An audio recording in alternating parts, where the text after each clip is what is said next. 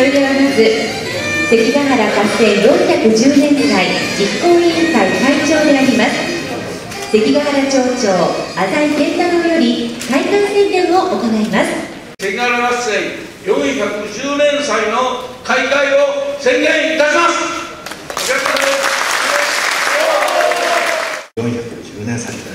お祝いに参上させていただきました。時の天下を取った関ヶ原が今後相乗効果を生んでそういう外国人観光客誘致のそういうつながりになることも大いに期待をしているところでございます。長い間夢に描いておりました長官図が完成いたしまして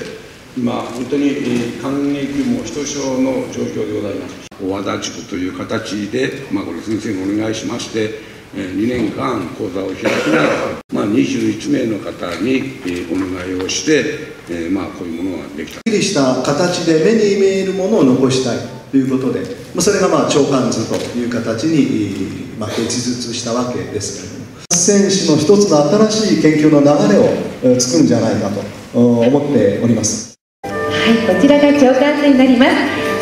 ちょっと説明をさせていただきたいと思います。中山道沿いにですね、えー、家があります。笹尾山の下あたりねこの辺りはのっぽらでした。東西両軍の兵によって踏み荒らされたりなんかしましてまあ大変な被害を受けたところということになります。あのちょっと色で一応区別しているんですけれどもこのやや緑色っぽいのが水田ですね、えー、こういった薄い色が畑、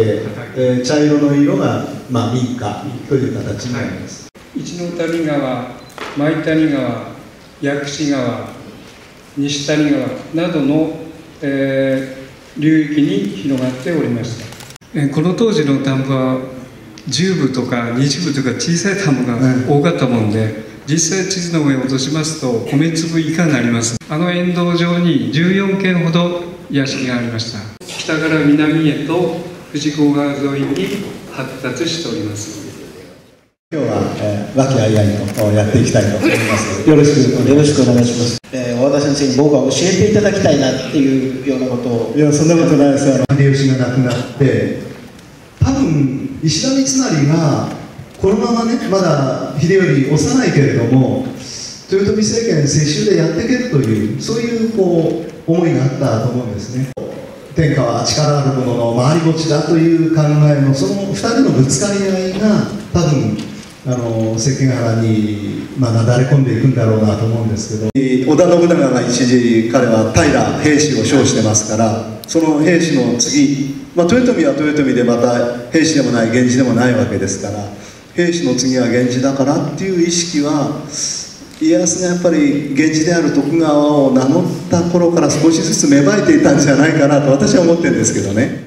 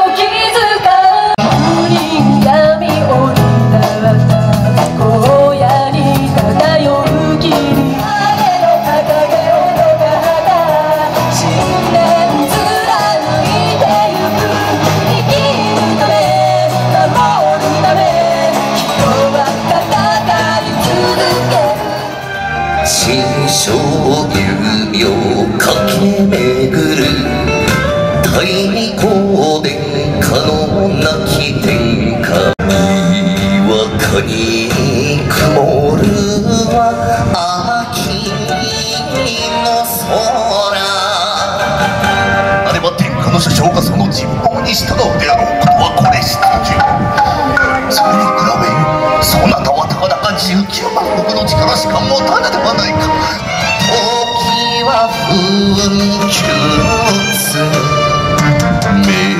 指すは身の絵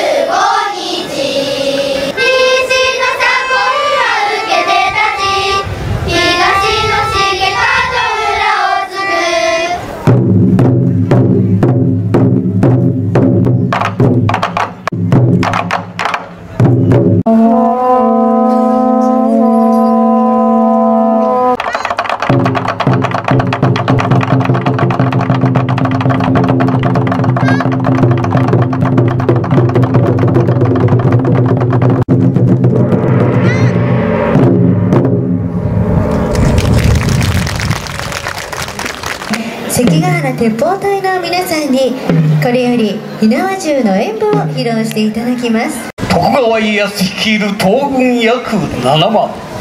石田三成島津大谷隊など西軍約8万が霧雨煙美濃の国は関ヶ原の原野を舞台に天下分け目の合戦を繰り広げた